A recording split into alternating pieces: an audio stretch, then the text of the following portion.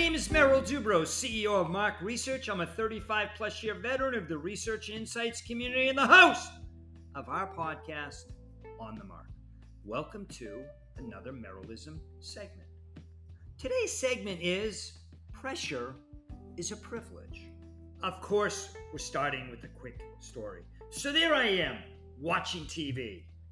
Actually, sorry, glued to the TV as I am so pumped to watch every game, every point, and frankly, every second of this first round match that Serena Williams is about to play in. The camera was behind Serena, and I noticed a quote on a sign or the cement at the US Open that said, Pressure is a privilege. I love that quote. I love those four words. I didn't know who said it, or was it part of a larger quote? Come to find out, I Googled it, of course, and tennis legend Billie Jean King said it. Before I knew that, I paused and gave some thought to what it meant to me. Because I believe if I asked five people, what does it mean? I probably would get five different answers.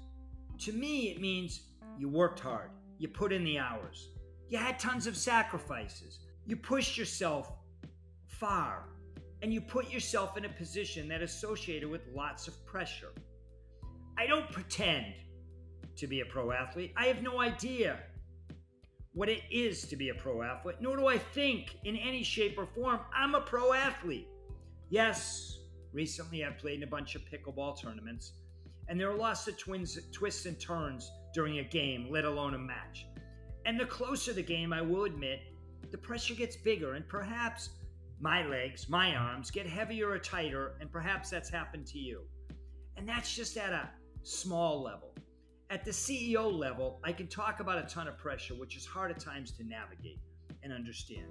When I was CEO of MARC for 14 years, I had the backing of Omnicom, frankly, a shield, a big company with resources, deep pockets to bail me out, us out, no matter what. Well, four years ago, when I transacted the business, that shield and resource, well, is gone. So the pressure gets greater. And to me, that is a privilege and something I do take serious. In fact, very, very serious. What does that quote mean to you? Pressure is a privilege. How does pressure affect your life? How do you navigate through that when you need to? Thanks for listening to today's segment Pressure is a Privilege. My name is Merrill Dubrow. Stay well, be safe, and please, please stay in touch.